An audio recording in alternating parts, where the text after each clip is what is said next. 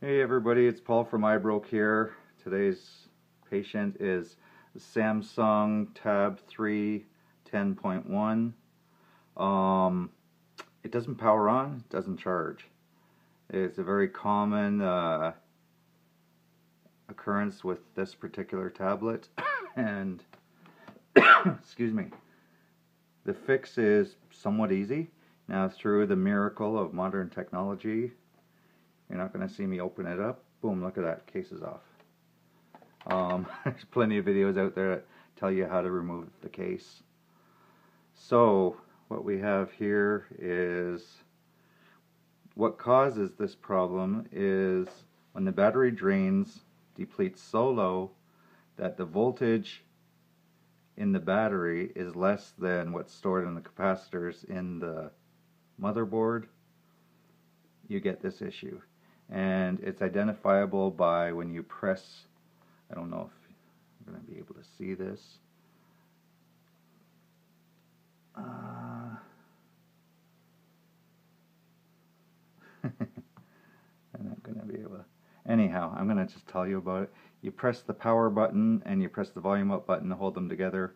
Comes across the screen here in red writing. It says voltage is too low, must be at least 3.7 volts. So when that happens, you know you've got this issue. So the fix is we turn around, we take our tweezers, and we lift off the battery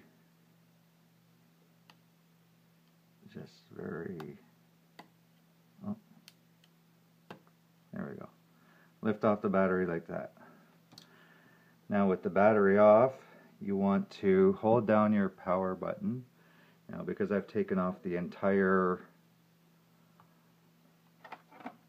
because I've taken off the entire backing, the power button here, we have to, just with a fingernail, get on top of that little black dot and push it. So basically what you want to do is hold this for a few moments with the battery disconnected it drains all the power out of the motherboard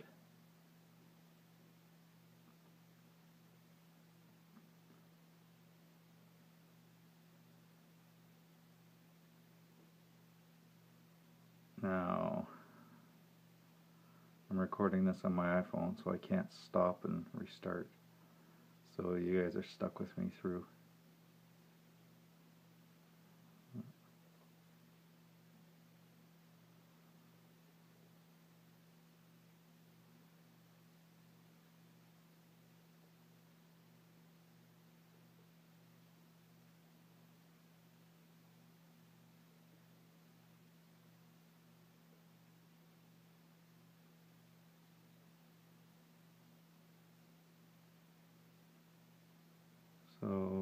Usually about two minutes does it.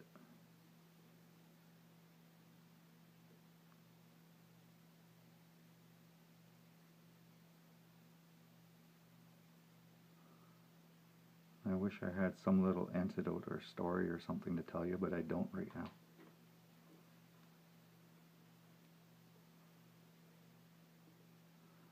I'm all funnied out for today.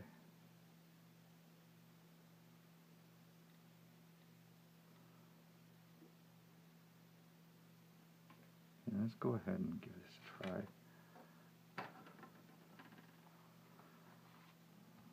Uh, I want to just push the connector right back in like that.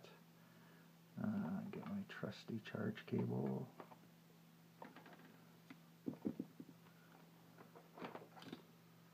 Like so.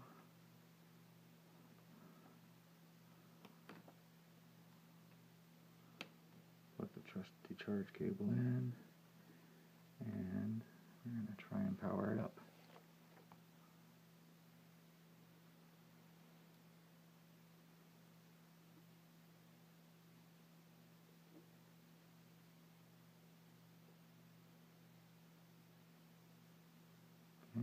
Still not. This particular device I've already established this is the problem and I've already done it once. I'm just trying to recreate it for everybody out there in YouTube land.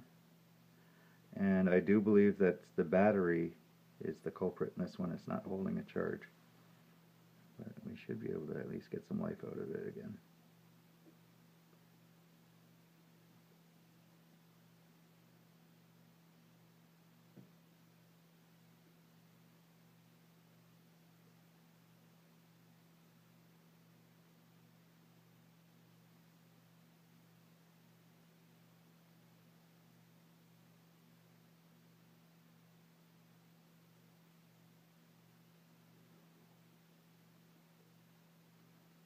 See if we can get that red warning. Oh. Custom OS can cause critical problems. If you want to download a custom OS, uh, cancel restart phone. Okay. They're thinking that we're trying to tamper with it to install a custom OS. That's funny.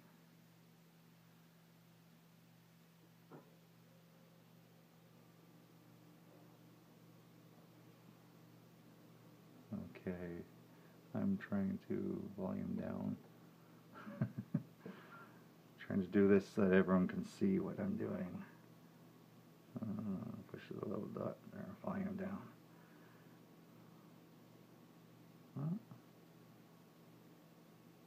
Downloading.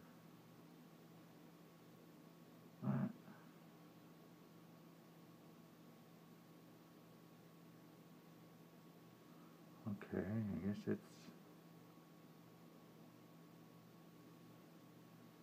reinstalling. But as you see, we've now got power to the device. As you can see, we've now got power to the device. So,